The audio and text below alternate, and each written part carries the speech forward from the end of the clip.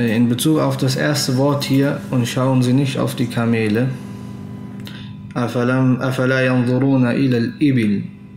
Das Wort kann auch heißen auf den Regen.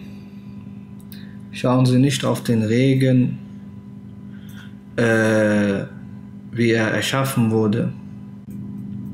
Und der Rest bleibt dann so stehen. Der Zusammenhang zwischen Regen, Himmel, Erde und Berge ist ja offensichtlich. Aber was ist der Zusammenhang hier, wenn man davon ausgeht, dass mit dem Begriff Ibil wirklich die Kamele gemeint sind? Was hat das Kamel verloren zwischen den Bergen, den Himmeln und der Erde? Also Himmel, den sieht jeder auf jedem Punkt der Erde. Die Erde umgibt dich, wo du auch bist. Berge sind in der Regel auch überall zu sehen. Warum, auf, warum wird ausgerechnet das Kamel in diesem Kontext erwähnt, wenn wir sagen, dass Ibil Kamel heißt?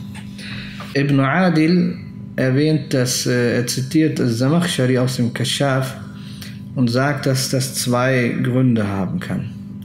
Der eine Grund ist, dass der Koran an erster Stelle ja die Araber anspricht.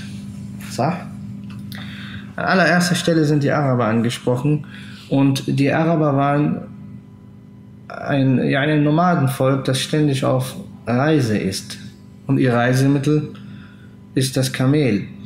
Und äh, es, es ist ja meistens so, dass der Mensch sich erst dann dem Denken zuwendet, wenn er irgendwie alleine ist. Wenn er nicht gestört wird oder abgehalten wird durch andere Beschäftigungen. Erst dann wendet sich sein Kopf dem, dem Denken und Nachsinnen zu. Und das allererste, was er sieht, das allererste, was er in diesem Fall dann sieht, wenn er beginnt nachzudenken, ist sein Tier vor sich, auf dem er sich bewegt. Und in, dieser, in der Lehre der Araber bewegt sich in der Wüste, sieht er dann den Himmel und die Erde und die Berge um sich. In diesem Vers ist auch eine, möglicherweise eine Anspielung darauf, ähm,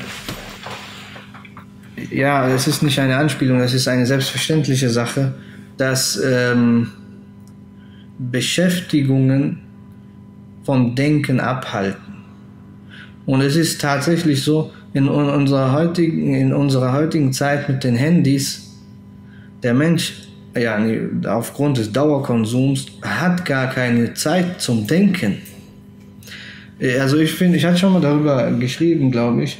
Ich finde, dass, äh, dass also ich merke es auch selber, ja, wenn du ständig, äh, ja, diese, die, du, du bekommst ständig diese Stimulation vom Handy und ständige Reize, neue Reize.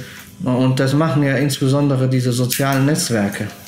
Du gehst von einer Nachricht zur nächsten und zur nächsten und du nimmst immer wieder neue Sachen in dir ein, hast aber gar nicht die Zeit nachzudenken.